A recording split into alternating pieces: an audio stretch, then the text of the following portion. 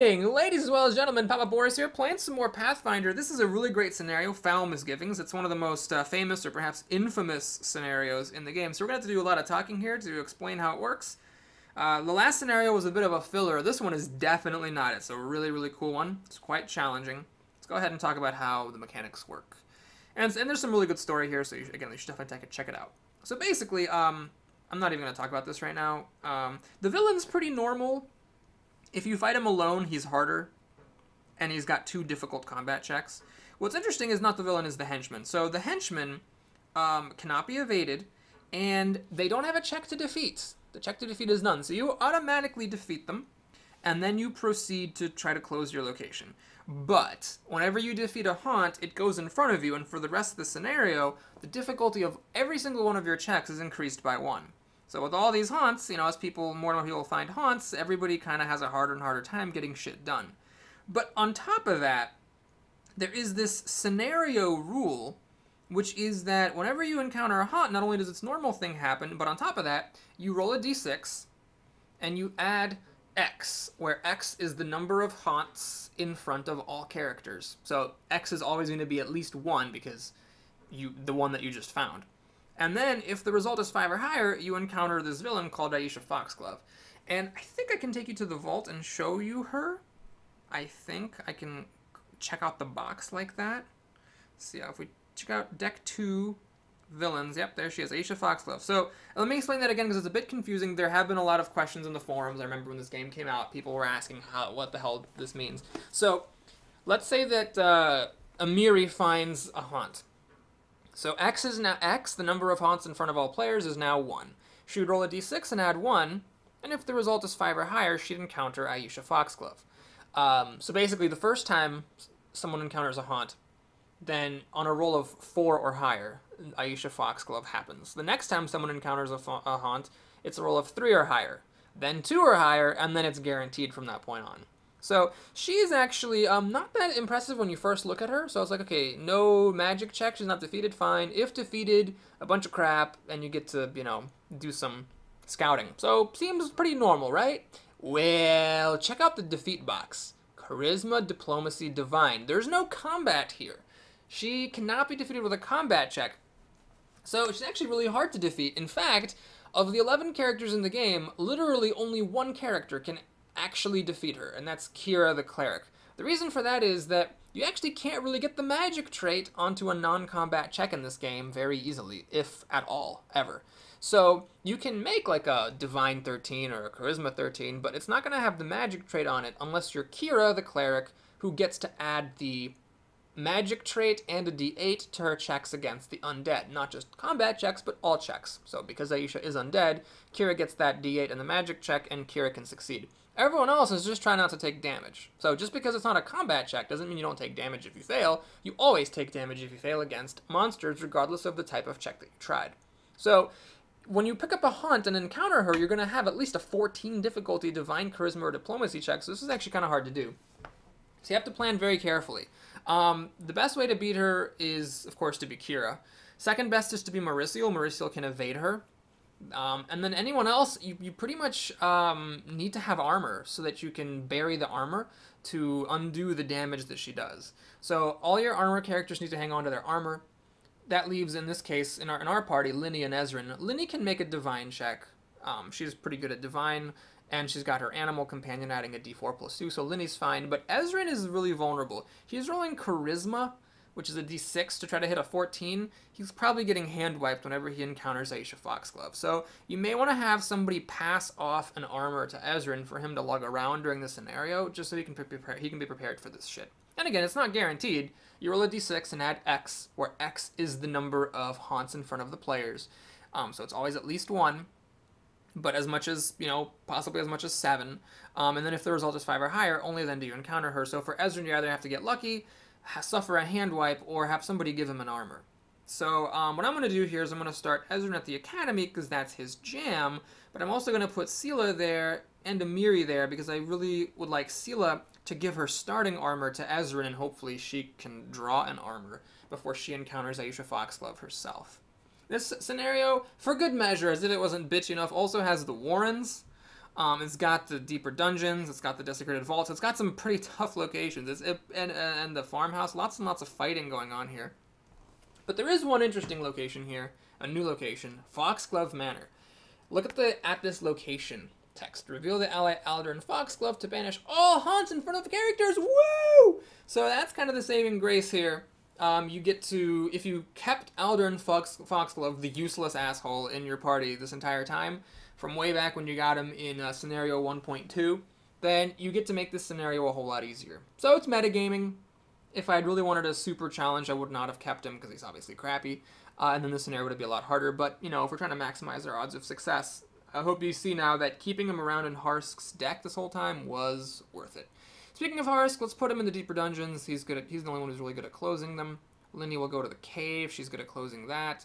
Merisiel will go to the prison. Hopefully I find my Crown of Charisma before I um, uh, encounter the henchman there. And that I think that'll do it. That'll do it. So having Seelah start in the academy kind of sucks because she's just pretty likely to turn over a spell, which Ezren could have picked up and gotten a free exploration anyhow, but whatever. I think it's worth it to give Ezren an armor. Alright, Amiri has two weapons. Seelah has a weapon. No need to pass off a weapon. Mary's going to go to her favorite place, the farmhouse, I think, which has monsters and then more monsters. And then to close the location, you have monsters. There's a bugbear. All right, we'll do Glaive. Should I bury my spear? Yeah, I'm just going to bury it. I just really just don't even want it. I, not that I'm concerned about not making the check. I just really don't want that spear because I already have the much better Glaive. Troubadour does not help me close this place, so I'm going to discard it to explore. Chime of bullshit can go suck itself, and yeah, I'll discard one blessing, I think, to explore again. Haunt. Alright, I got armor. I am ready for Iesha Foxglove. Remember, don't recharge your armors, people. And, th and this, well, this one, by the way, I highly recommend reading the stories, because, like, each, each haunt does a unique thing. So am I to have to bust my armor? I am not, so uh, I didn't roll five. That's good. well, I guess that's a good thing, because if I had buried the armor against Iesha, I would have lost my glaive and had to fight this guy barehanded. Not that I couldn't take it, mind you. But, uh, you know, it's just convenient not to have to deal with that. Alright, do not get rid of the armor here, because you need to hang on to it. Everybody's going to be finding those damned henchmen. Um, we'll get rid of the dagger. And, um, alright, so turn one, one location closed. Pretty good deal. Draw some more cards here, and should I... No, I, I want Seelah to be at the academy to give an armor to Ezra, and that's the whole reason I put her there. So let's scout, just in case it's like a monster or something. It is a monster. It's actually pretty good. So Ezren will fight the monster, then get an extra exploration, because his first exploration at the academy wasn't a spell. I'm going to give him this Elven Breastplate, and then I'm going to move to where she actually wants to be, which is the Desecrated Vault. She's not the best at closing that place, but she's pretty good. War Chanter. Ugh, okay. So we have to make a Wisdom 8 check, or we can't play weapons. Um, I'll peel a card to, to give myself slightly better odds at this. Why is it a combat check? What? What? What? What? Okay. Well, that that card, the Goblin War Chanter, was um really really bugged in the closed beta.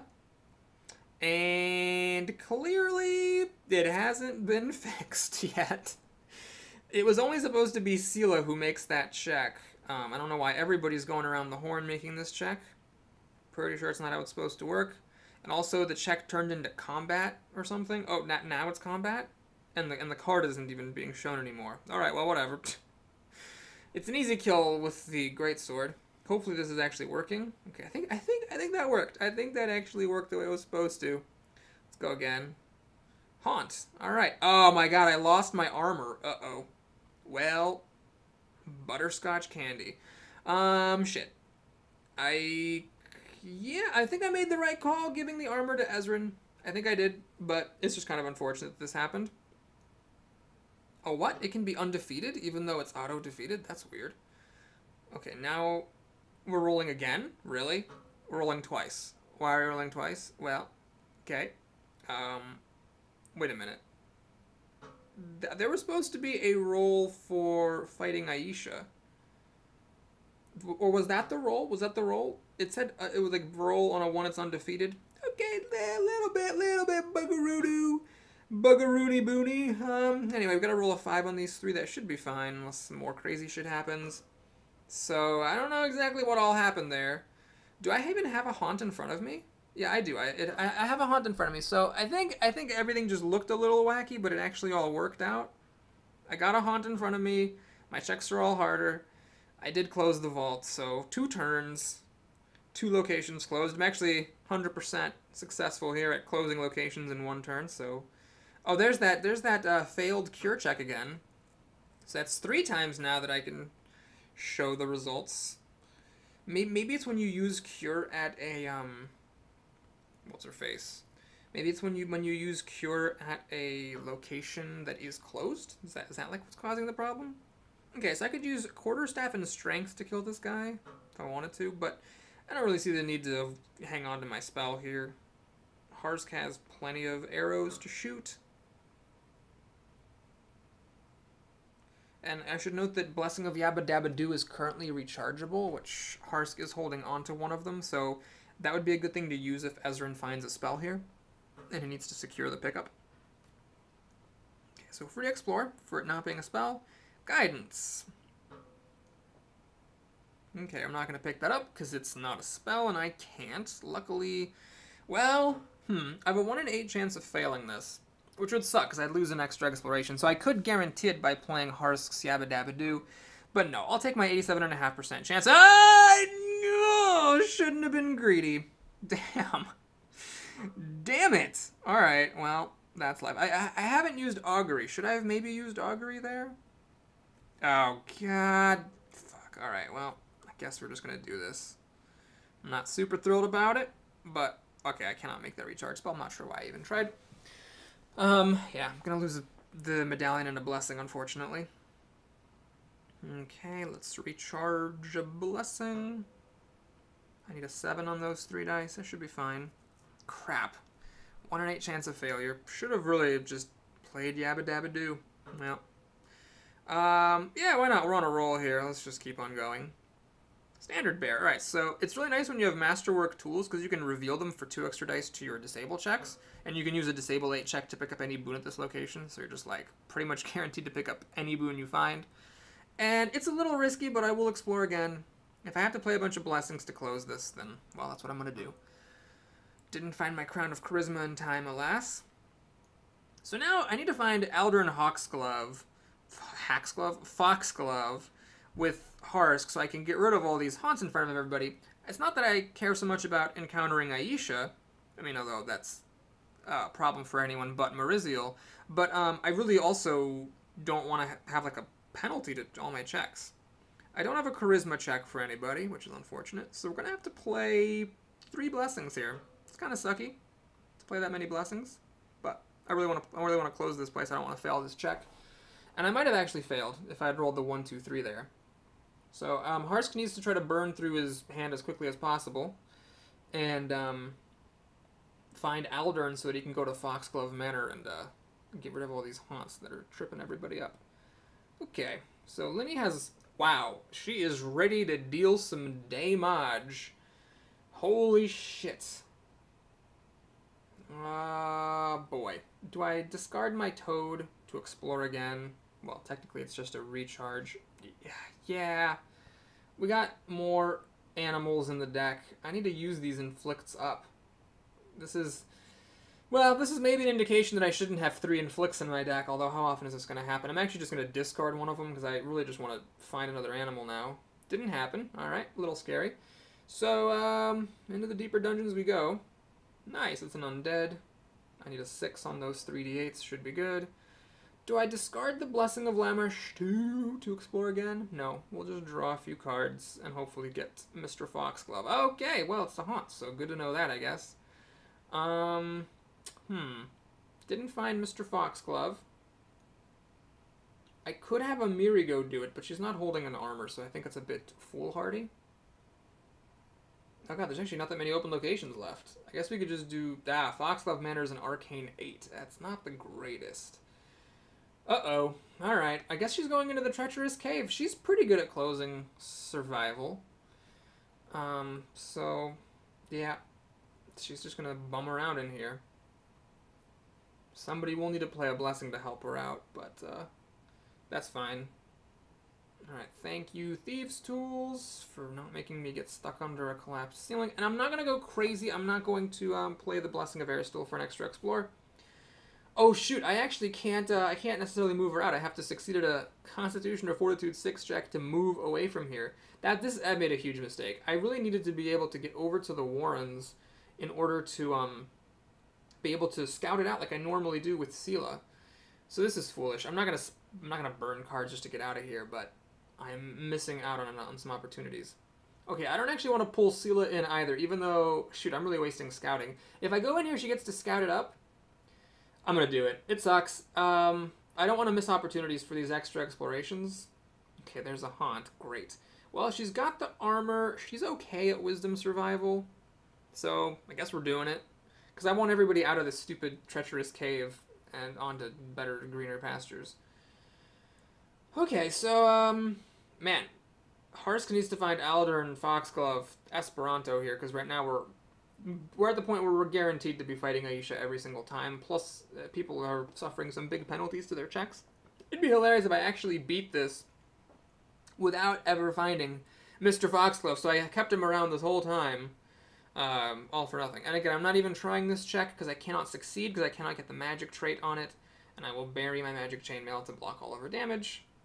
And then now we gotta close. So I'm at a penalty of plus two.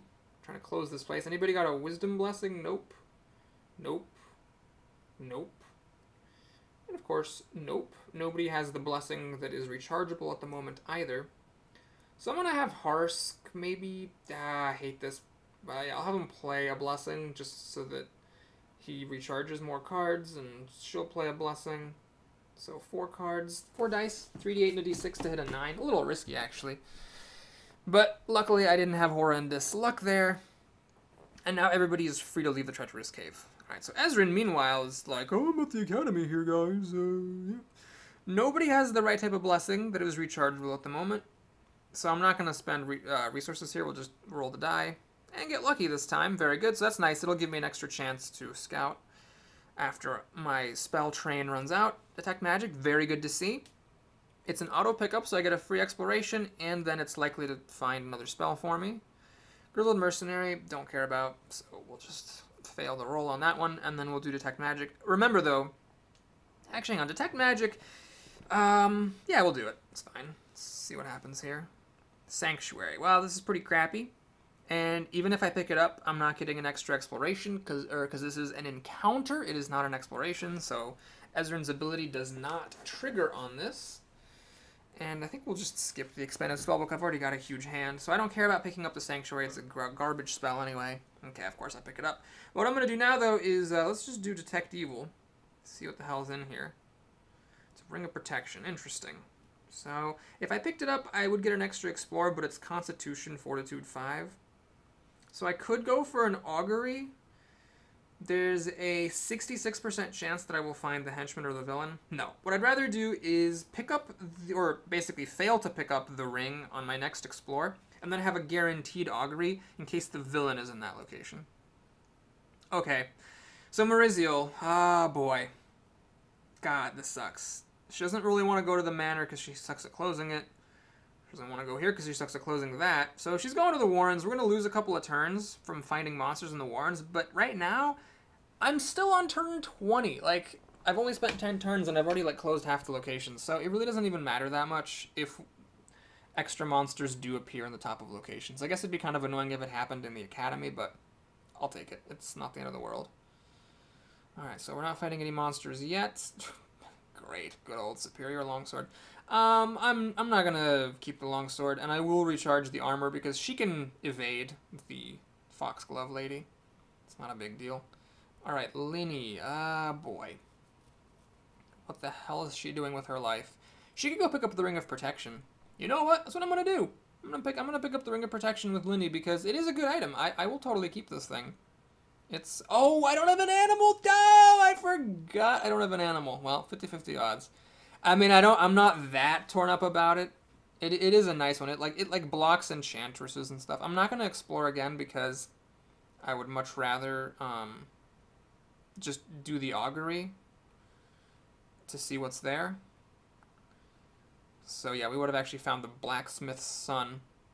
Oh, interesting. You know what? I, sh- I should have actually called spell maybe on it. No, no, it was good to put the monster on top. Toxic cloud is really good though. Shit. Um, fuck. Yeah, there's no way. Uh, there's no way to get that toxic cloud. It's a good spell, but I can't get it, and not that bothered about it. So um, yeah. I guess um, Ezren will take out the haunt on his turn and close the location. He is the most well equipped to do so. And you know what? She's just going to discard another one of these inflicts because I really don't think she's going to have enough time to use them. All right, there's an animal, finally. Okay, what's here? It's a haunt. Hmm. Okay, well, he's got an armor. Might as well close this place, I guess. So, this is going pretty well, actually. Everybody's haunted to the dickens, but um, we've closed most of the locations. Really, really narrow range of possibilities for where the villain might be.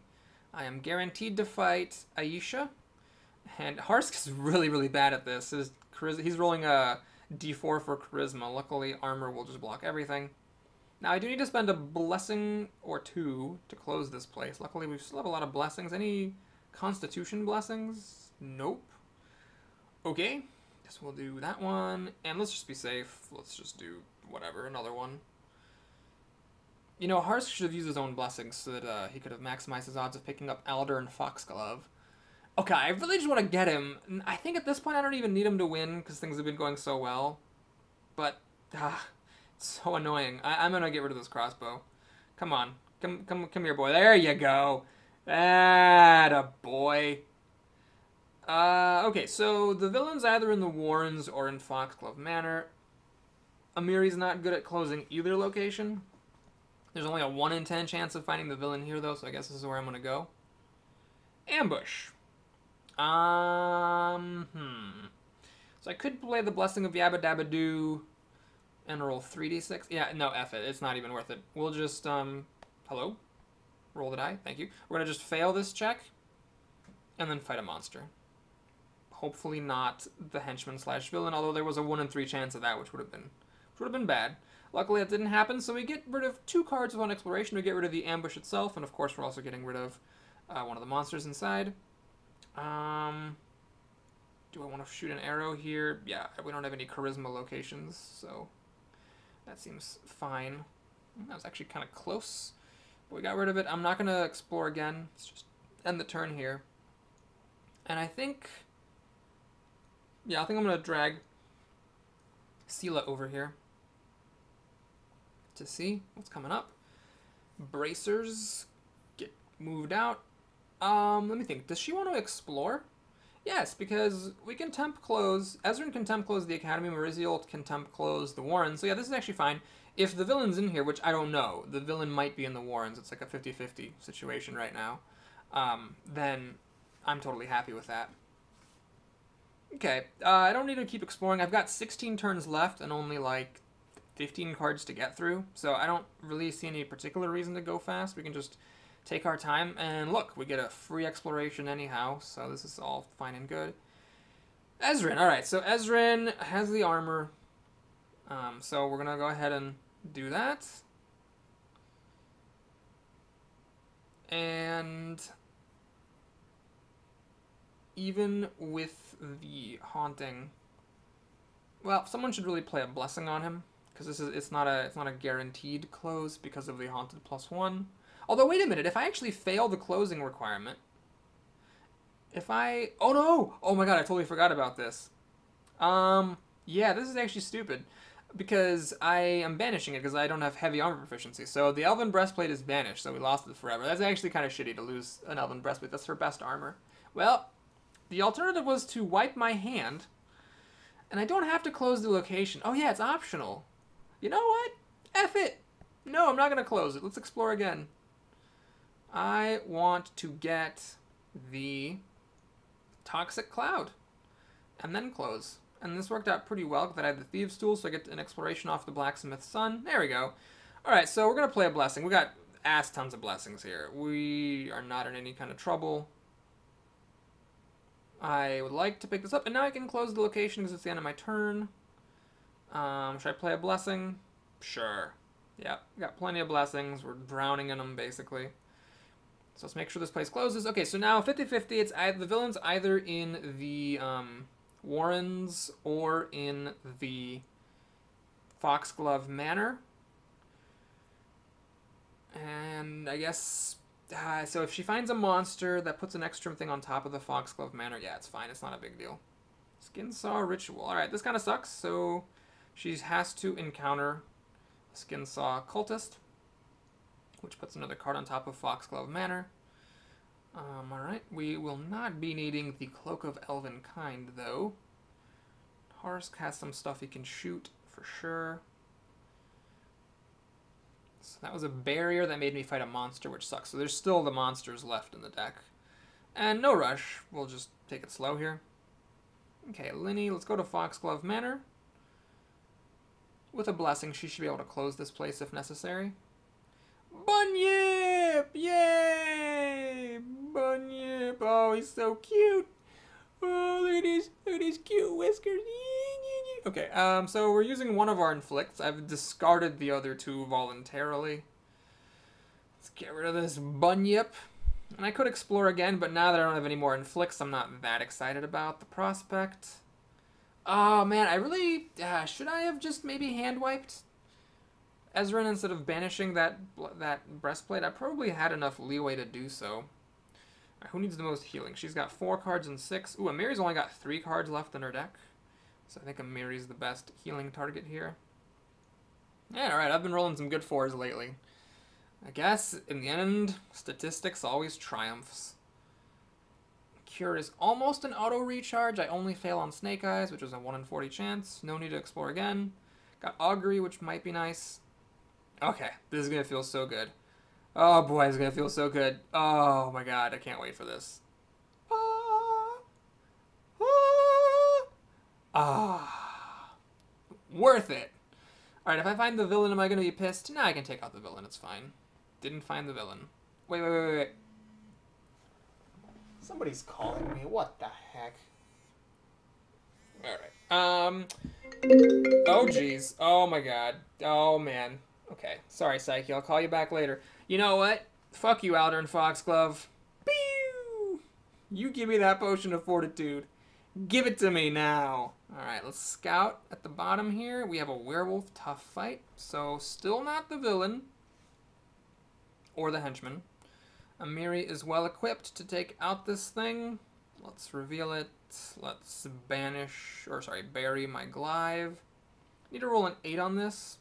A bit dicey. Does Ezren have strength? Yeah, this is good. I could also use Toxic Cloud, I guess. You know, that, that would have been smarter. I think the villain is undead, so... Yeah, the villain's definitely undead, so Toxic Cloud won't work on him. Toxic Cloud... Let me actually show you. I've not showed you Toxic Cloud. Shame on me. Toxic Cloud, basically, you can display it, and then it adds a d6 to everybody's combat checks for the rest of the turn. The problem is it also adds the poison trait, so it doesn't apply to any monsters that are immune to poison, which includes, uh, like, all undead, which is the problem. So anyway, and that's the Toxic Cloud but uh, I, I could have used it there. I chose not to, and that was probably a mistake because um, she could have Ezren could have saved the strength for um, fighting the villain. Instead, we're gonna have Toxic Cloud against the villain, which will not work. Okay, that was a really roundabout way of expressing what should have been a very simple thought. But anyway, Seal is up. Can we find the villain here? Nope, we found another crappy spell. Okay, so I'm really hoping the villain is in here because that will mean that ends earlier. Alright, thank goodness. So if this had been a henchman, it would have been difficult to close the location. And on top of that, Casilla is really dumb. And on top of that, we still would have had to go through the Warrens to um, close the, to finish this off. I would have had the time to do it. I was fine, but this way is just faster. Okay, so we've got a Troubadour, which actually guarantees success. I cannot fail that thanks to my amazing dexterousness. And now combat. Well, um, let's keep this simple. So we'll do the first check ourselves. Let's discard the Great Sword. Let's throw away a card there. Let's play a Blessing. Does anybody have two Blessings? She does. so might as well play one. And I don't really see myself failing that. Check the dice only had to roll a 10, so it was theoretically possible to fail, but not very likely. And let's just pass some of the fun around here. Let's take Amiri. For a spin, we'll discard a Bastard Sword. Glibness. I'll glib you. Let's bury that because the Blessing of Lamashtu is the top blessing. Let's just like more blessings in case anything wacky happens. Ooh, I can recharge a Blessing of Lamech. No, no. Yeah. Yeah, yeah. I'm going to bury it. Okay. So yeah, that, that should be fine. So if that had, you know, if that had been a henchman, it would have been annoying. I would have had to spend those blessings just to close the location. Um, and then we still have to go through the Warren, so it was nice to get a quicker finish here. Thanks for watching. I hope you enjoyed it. Please like and or subscribe, as you are wont to do. And now it's time for our rewards, which is a skill feat. So nothing wacky going on here. Just uh, putting everybody's skill feats into their combat stat. It's simple, but I think for Rise of the Rune Lords, it makes sense. And now, I really regret that I don't have that Elven Breastplate anymore. Oh man, this is gonna be sad. So Ezren picked up a bunch of spells.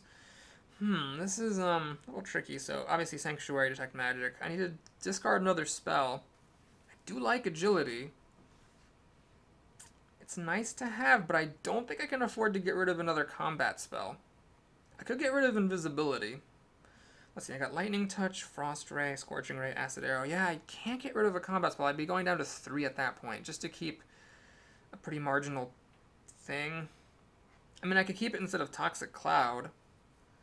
I really like it. You know, I just like it. I don't care if it's like not even the best choice. I'll keep it. We'll decide later what to do about it. So Merisiel has some junk. Harsk has some junk. He actually needs an ally. All right. So Seelah needs an armor, and Ezren needs to get rid of a spell. What, are, what spells does Lini have? Can she help me? You know what? Let's get rid of one of these inflicts. We've had way too many of them. So you can take the agility, because that is both arcane and divine. There. Let's do a quick view all. Not missing anything. Didn't pick up many boons that time. And so Seelah is getting a regular chainmail in place of an elven breastplate, which is sad. But it helped make the scenario easier, and at the end of the day, it's just an armor. Thanks for watching, everybody. I hope you enjoyed it. Please like and or subscribe. And of course, I'll see you again soon. Take it, talkity, tookity, care.